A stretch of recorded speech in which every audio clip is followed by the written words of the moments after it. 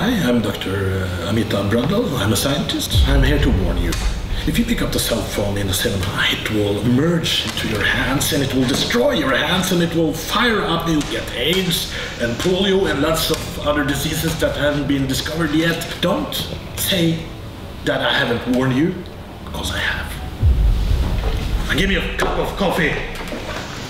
Oh, you picked up the cell phone as well.